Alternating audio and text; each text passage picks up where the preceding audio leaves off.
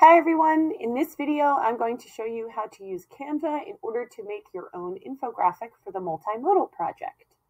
Okay, so step one is obviously going to be to create a Canva account. Um, you can do that through your Google account or any other way you so choose. Just make sure that you make one. um, okay, so once you make your free account, um, you'll have access to all the free items available here. So we're on the main screen um, we're going to click More.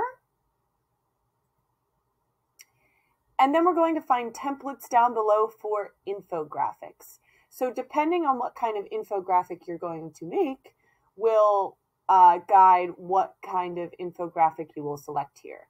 So let's say we're going to do informational infographics because I feel like that's what most people will end up doing. Okay, so we have a few things. This one's a data infographic, clearly, so we're not going to use that one. That's for statistics. Um, I'm going to do minimum wage.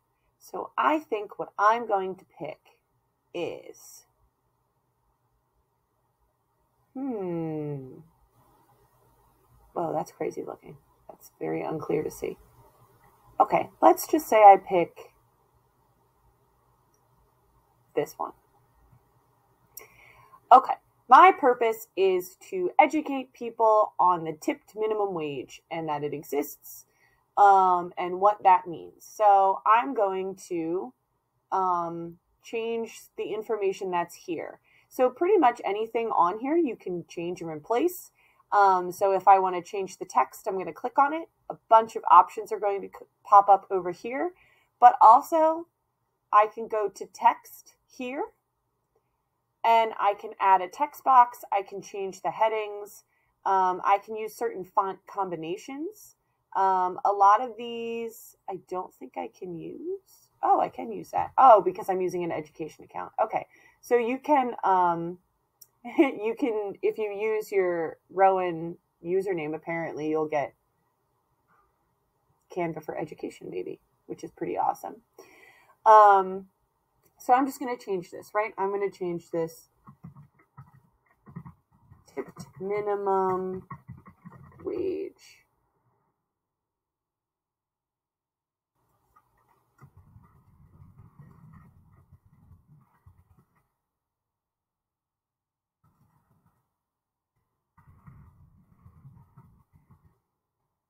Okay, so I decided to go with this.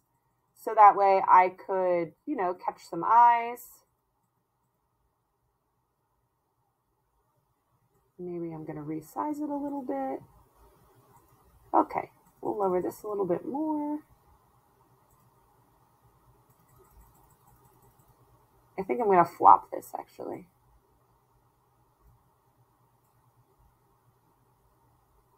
Cool. Okay. Um, and then clearly because, oh my gosh, Okay, there we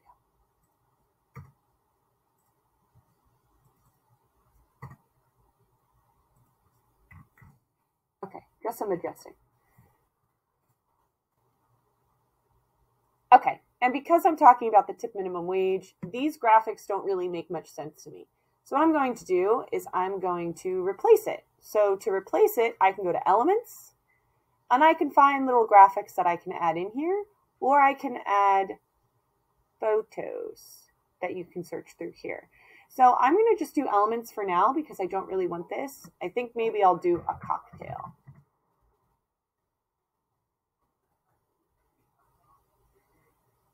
Or money. That's a better idea.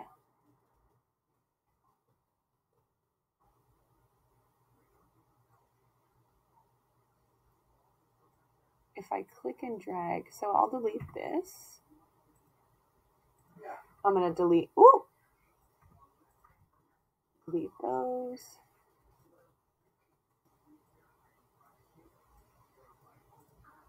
Awesome. So now I have this little image. I think that looks nice. I do like the colors. I might try to make this a little more accessible. So I'm going to make it a little darker. So maybe if I go like a, maybe I'll change the background to a lighter green. Yeah, that's better. That's easier to see. Um, and then I'll change this to that's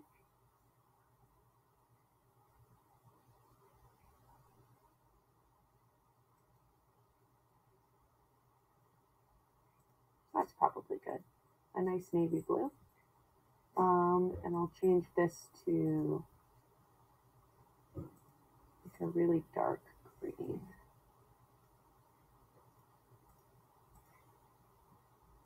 Mm-hmm. Cool.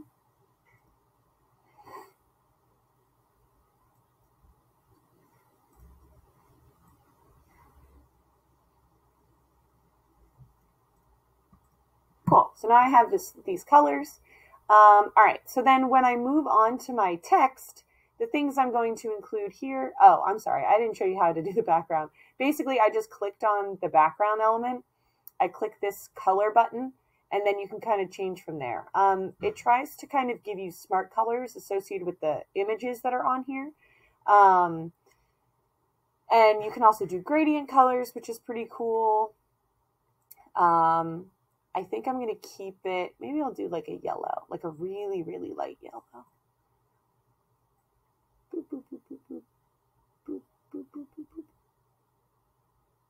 Okay, yeah, really light yellow. Very nice. All right. So then I'll change the other ones like that. Um, if you wanted to add a photo, I would say maybe a server.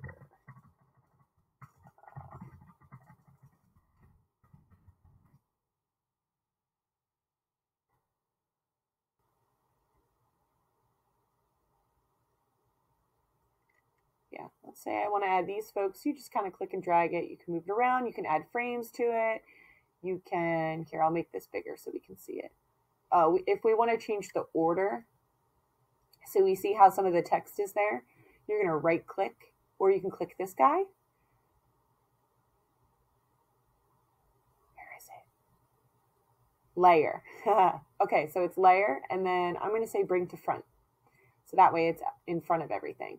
Then when you edit photo, you can add things to it. You can autofocus. So it'll make like the people in focus probably.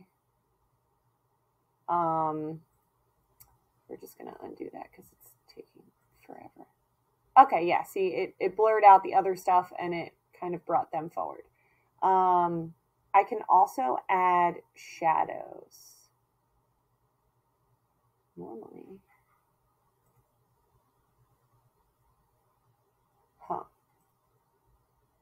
Unless it hates me. Now those are filters, effects.